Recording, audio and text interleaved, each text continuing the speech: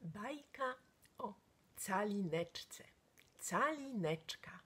Dawno, dawno temu żyła sobie pewna kobieta, która bardzo chciała mieć dziecko. Tak bardzo pragnęła, że poszła do wróżki, do takiej czarodziejki, która zajmowała się ziołami. Poszła po poradę i mówi – tak bardzo chciałabym mieć dziecko. Czy mogłabyś mi pomóc? Co mam zrobić, żeby mieć malutką dziewczynkę, córeczkę lub malutkiego synka? Ja tak bardzo chciałabym mieć dziecko. A zielarka powiedziała: Jest na to sposób dam ci tutaj taki zaczarowany, malusieńki, malusieńkie ziarenko, które zasadzisz, które zasadzisz w doniczce. Weź to ziarenko do ręki, pójdź do domu i zasadź je w doniczce. Kobieta wzięła do ręki ziarenko, zacisnęła mocno w pięści, aż paluszki zrobiły jej się białe i szybciutko pobiegła do domu. Wzięła doniczkę, wrzuciła do doniczki ziarenko i zasadziła w ziemi, podlała wodą i czekała. Jeden dzień nic, drugi dzień nic a na trzeci dzień zaczęły, zaczęły pojawiać się zielone, zielone listki. Zaczęły pojawiać się zielone listki, a później łodyga, a potem przepiękny kwiat. Przepiękny kwiat. Pączki, z tego pączka rozwijała się biały, piękny kwiatuszek w środku ze słupkami i w samym środeczku, w samiuteńkim środeczku zobaczyła, że tam jest mała dziewczynka, taka malusieńka, taka mini mini. Miała piękne, długie włosy, śliczne, niebieskie oczy i się uśmiechała. Kobieta bardzo się ucieszyła, że ma córeczkę, ale córeczka była taka maniunia jak jeden cal, a jeden cal to jest dwa i pół centymetra. Więc postanowiła nazwać dziewczynkę calineczką. Zrobiła dla calineczki łóżeczko, przepiękny, przepiękną ze skorupki od orzecha kołyskę przykryła ją takim płatkiem, płatkiem kwiatuszka i dziewczynka spała w łupince. A rano, kiedy mamunia jadła śniadanko, nalewała do talerza wody, kładła płatek kwiatuszka, na nim sadzała calineczkę i calineczka pływała sobie po wodzie, po talerzu, śmiała się, patrzyła na swoją mamusię i była strasznie szczęśliwa i zadowolona. Pewnego dnia, kiedy calineczka spała, w oknie był mały otwór i przez tą dziurę w oknie weszła żaba. Kic, kic, kic i zobaczyła piękną calineczkę, jak śpi w łupinie od orzeszka. I pomyślała, jaka piękna dziewczynka, byłaby wspaniałą żoną dla mojego syna i złapała łupinkę pod pachę i kic, kic, kic pokicała na mokradła. Posadziła calineczkę na płatku nenufara na jeziorze i pobiegła do swojego syna i mówi Mam dla ciebie piękną żonę. Będziesz miał piękną żonę, calineczkę. Ale calineczce nie podobała się żaba. Żaba nic nie umiała, umiała tylko mówić kra, kra, kła, kła i kła. nic więcej. I calineczka była smutna, płakała, łezki leciały jej po policzkach. Siedziała na nenufarze, na jeziorze, który łodygą przyczepiony był do samego dna. Usłyszały jej płacz rybki i płynęły, i szybciutko dopłynęły, i przegryzły łodygę. Przegryzły tą łodygę, która sięgała do samego dna jeziorka i kwiatuszek odpłynął.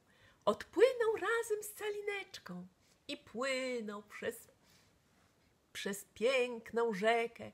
Calineczka oglądała dookoła piękne pola, piękne lasy, aż przypłynęła na brzeg.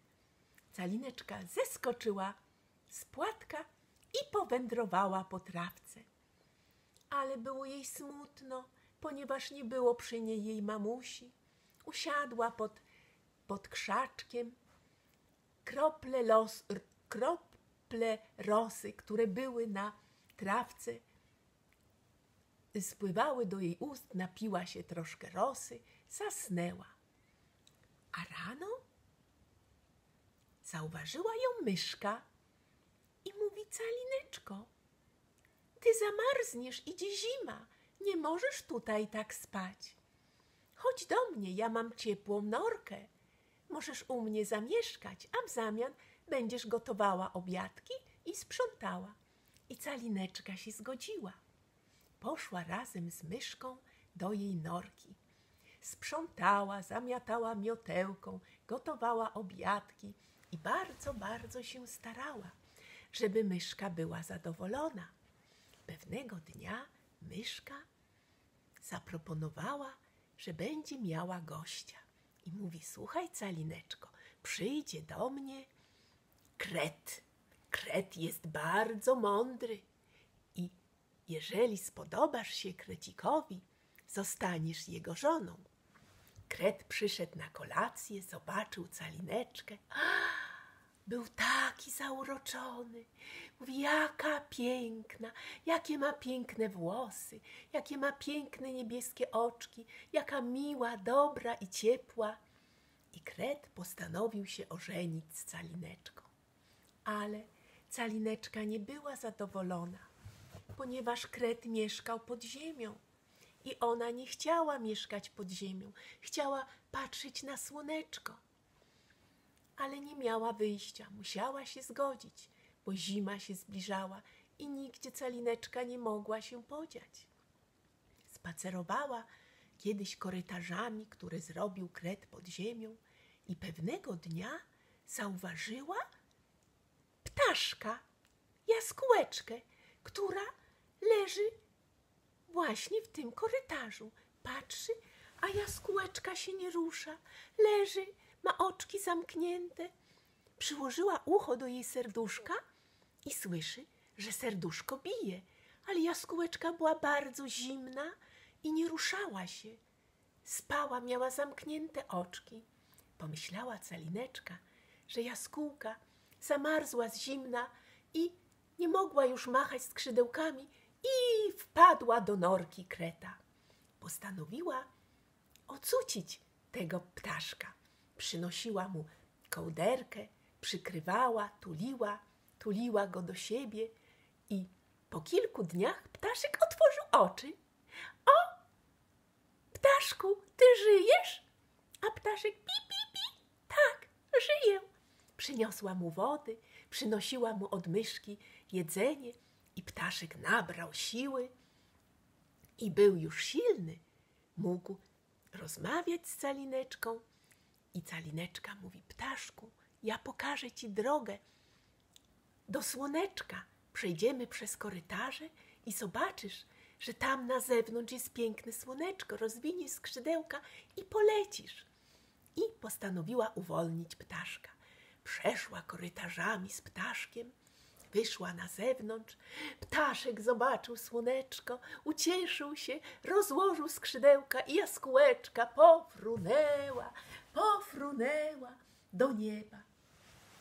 A calineczka została, pomachała tylko ptaszkowi, wróciła do norki i czekała, na ślub z Kretem, ale nie była zadowolona z tego. Mówi do Krecika, Kreciku, czy ja mogę ostatni raz, zanim weźmiemy ślub, czy ja mogę spojrzeć na słoneczko? I Kret się zgodził. Calineczka powędrowała korytarzami, wyszła na zewnątrz, usiadła i zaczęła płakać. A po niebie latała jaskółeczka, ta, którą calineczka uratowała. I opuściła skrzydełka, wylądowała przy calineczce i mówi: Calineczko, nie płacz, ja teraz ciebie uratuję. Siadaj na mój grzbiet, złap mnie za szyjkę mocno, przywiążę cię tutaj taką trawką, żebyś nie spadła i polecimy do ciepłych krajów, bo ja właśnie odlatuję do ciepłych krajów, bo tutaj będzie zima. I calineczka złapała się mocno za szyję ptaszka, przytuliła się do niego, do jego puszystych skrzydełek i ptaszek odfrunął, odfrunął daleko do ciepłych krajów. Poleciał z calineczką do ciepłych krajów i tam wysadził calineczkę i mówi: Calineczko, zobacz, jak tu jest pięknie. Tutaj są elfy i jest królewicz. Może ja ciebie z tym królewiczem zapoznam. I zapoznał calineczkę z pięknym królewiczem. Królewicz, jak zobaczył calineczkę, zauroczył się nią i uznał, że jest tak piękna, że właśnie chciałby się z nią ożenić. I królewicz też spodobał się calineczce. Wzięli ślub i mieszkali w pięknym królestwie. Ale calineczka znowu była smutna, ponieważ nie miała przy sobie swojej mamusi.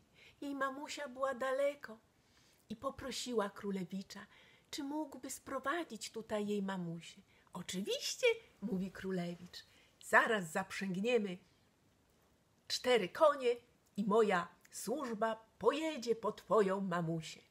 I zaprzągnęli karo, taką karocę piękną, karetę, cztery białe konie i pojechali po mamusie. Przywieźli mamusię calineczki. Jak mamusia calineczki ją zobaczyła, wyciągnęła do niej rączki, mówi, kochana moja córeńko, jak ja się cieszę, że znowu jesteśmy razem.